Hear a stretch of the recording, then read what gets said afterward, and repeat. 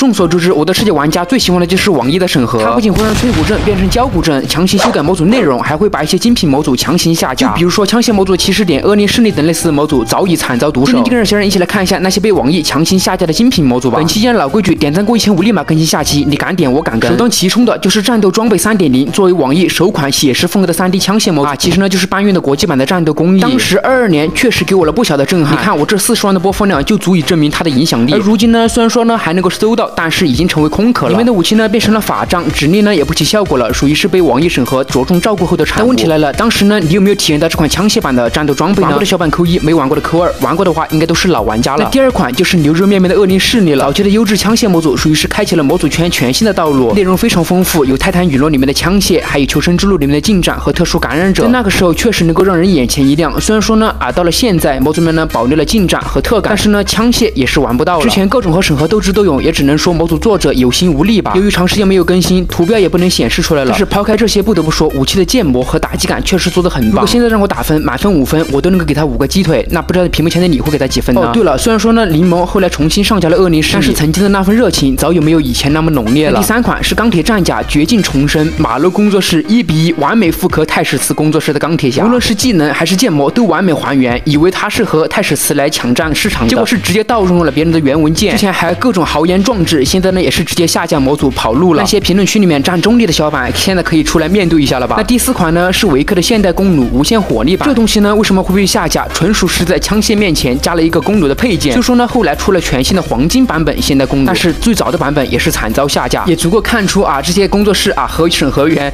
斗智斗勇。你说我这是枪械吧？我这个是弓弩啊，是 是吧？大家还知道有哪些被网易强行下架的模组呢？欢迎大家在评论或者是弹幕里面探讨。都看到这里了，那就点个赞，三连一波再走呗，感谢。